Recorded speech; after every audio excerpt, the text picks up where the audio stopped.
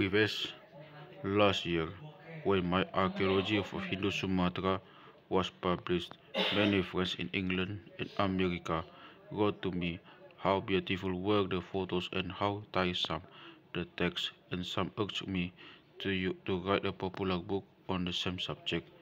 Now I must confess that nothing is more unpleasant than to write a book.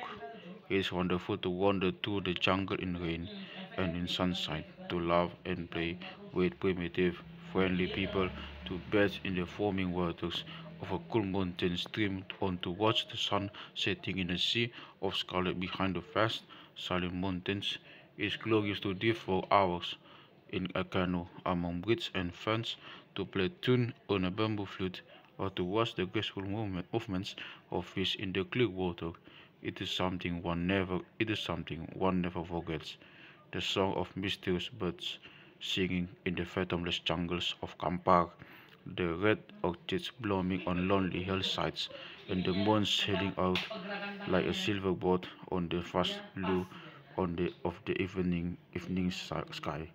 But it is terrible to write a book, and yet an island is always kind and hospitable places one under obligation one under obligations. So i take up my pen once more. This book gives a few sidelights sidelights on the wilderness of sumatra with its attractive people and remarkable animals with its ancient vanished civilizations and forgotten kingdoms. The, tra the tragic ruins of which lie buried on the jungle. It tells something about hindu antiquities continues with the megaliths of Nias and Samosir and some Samosir and Nesbitupiak historic mon monuments. Here and there is touches on legends, folktales and ethnological details. In this way, attention is called to problems which may have been neglected in the systematic descriptions, descriptions such as the well-known book of Prof. It seemed to me a good idea to devote a few chapters to people who deserve more recognition that than, ha has been given them by history. In the jungle, the foot in the jungle, footsteps are obliterated by every sorrow. The woods are full of unknown graves, and that is why I hope these people will continue to live in the following pages.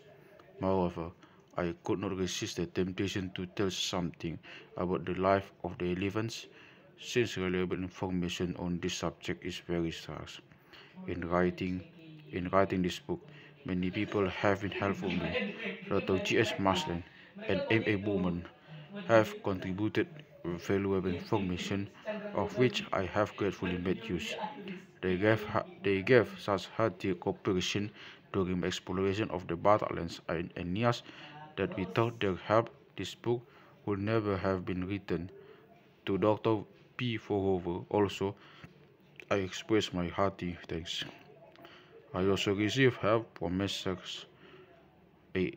A.W. Bokma, Rudolf Bonnet, G.A. Boslar, and J. De Bruin, F.H. Days, Dr. A. von Dognik, S. Iman, Dr. H. Friedrich, Friedrichi, Professor R. Professor R.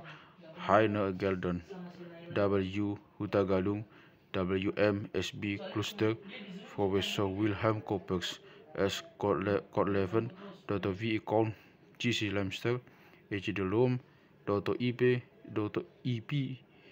Plufbeil, Plukbeil, S. H. Bruce, M. J. Rui Schaffer, Jill Tichelman, who wrote Chapter 9, G. G. G. J. Westring, and T. G. Wostra. Dr. C von Fuhrer Heimendorf was kind enough to contribute a free review of the Naga megaliths in Assam, for which the reader may observe how very much they resemble those of, of Nias and Sumatra. I hope to go more deeply into this subject in another book. In conclusion, I wish to thank the Royal Netherlands Geographical Society, which has given its financial support to my explorations.